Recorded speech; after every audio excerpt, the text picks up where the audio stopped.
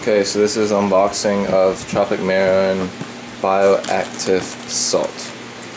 I bought it from Marine Depot and got a few other items with it. I have the Reef Keeper light. I'll show another video on that. That's this box. So here's the Bioactive Sea Salt. It's the back. Here's the front. I just got the 32 gallon try it out. Looks looks pretty. The advertising is pretty good. We'll see how um they say it say it will be. Or I'll see. I'll see how it will be. I'll try my uh, salt water cha water changes and see how it does. And that is the Tropic Marin Bioactive Sea Salt.